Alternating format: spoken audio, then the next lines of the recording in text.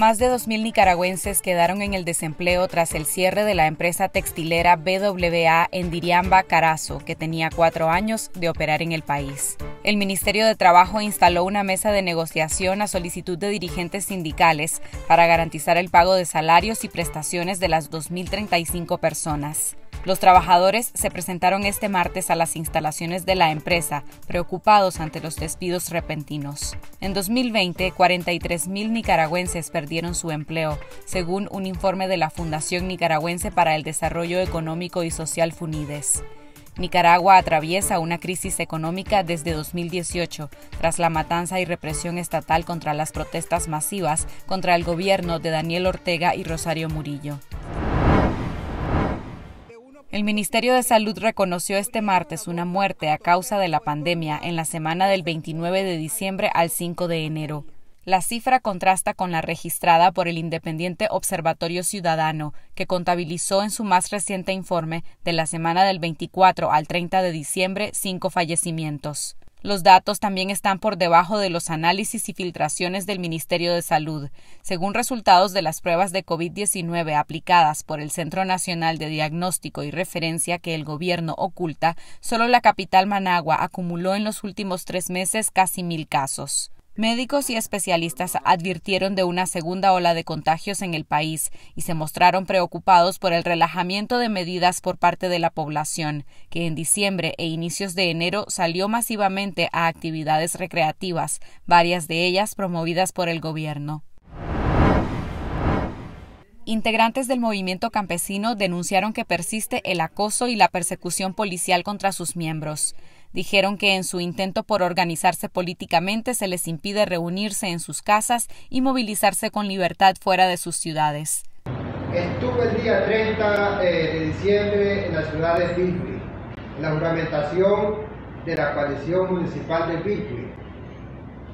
Horas después fui trasladado a la terminal de buses de la ciudad de Bigui, lo cual minutos después fui interceptado como por 30 oficiales de la policía, eh, estaban en un humilde comedor ahí, dando una comidita, me capturaron inmediatamente, no me dejaron comer, me esposaron, me sacaron como si tal fuera un delincuente. Pineda dijo que la policía lo mantuvo detenido por varias horas, que le intentó obligar a desbloquear su celular para revisarlo y le dijeron que tenía prohibido visitar esa ciudad. El Estado, a través de las instituciones, sobre todo la policía, está persiguiendo y asediando a ciudadanos que solo tratan de, expresarse de una u otra manera, de manera cívica y pacífica. Libertad para los presos políticos, libertad para Nicaragua, unidad es lo que queremos, unidad. Es lo único. Sergio Beteta, el joven detenido el 21 de diciembre pasado por protestar con la bandera de Nicaragua y por quemarla del Frente Sandinista, es acusado por tráfico de estupefacientes y tenencia ilegal de armas, y su juicio ha sido programado para el 18 de enero. El abogado defensor de reos políticos Julio Montenegro calificó la acusación de irreal. Beteta es un autoconvocado que se atrincheró en la UNAM Managua durante las protestas antigubernamentales de 2018.